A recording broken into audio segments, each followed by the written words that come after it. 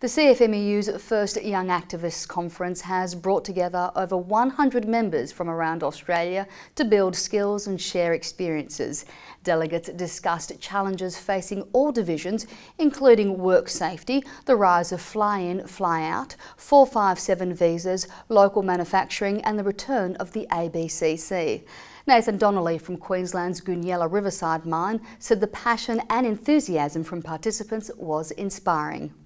Conference has been fantastic. The information, the passion and enthusiasm that um, from the speakers and from all the other guys that, that we've met here.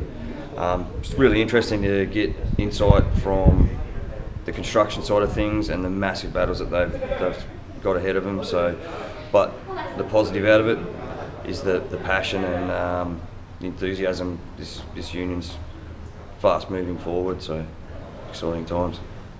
National Secretary Michael O'Connor said the conference was a great success and hopefully the first of many for young activists.